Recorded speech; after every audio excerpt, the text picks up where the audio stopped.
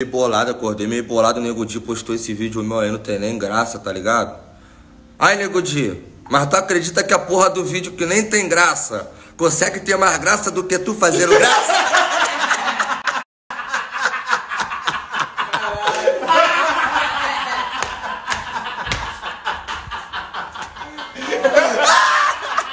Ah, qual é, parceiro? Se eu não aguento não, mano. Caralho. Caralho! Ó, ó, e ontem? E ontem, outro otário, tá dando sorte? Que mandaram aqui pra mim.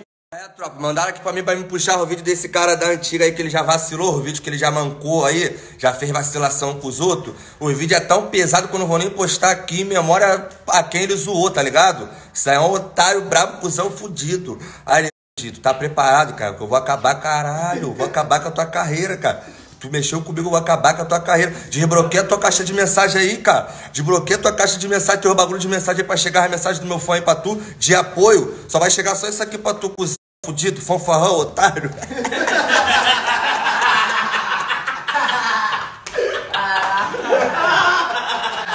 Foi mal, foi mal, rapaziada, que tá me cobrando aqui que eu tô chamando ele de comédia, eu tô vacilando. Pô, tô mesmo. Tô vacilando, não tem como chamar um cara desse de comédia, que ele é a vergonha até pra comédia, papo reto. Foi mal, tropa.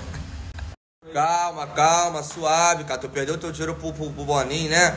Fica suave, porque a parada manda o teu pix aí que eu te ajudo.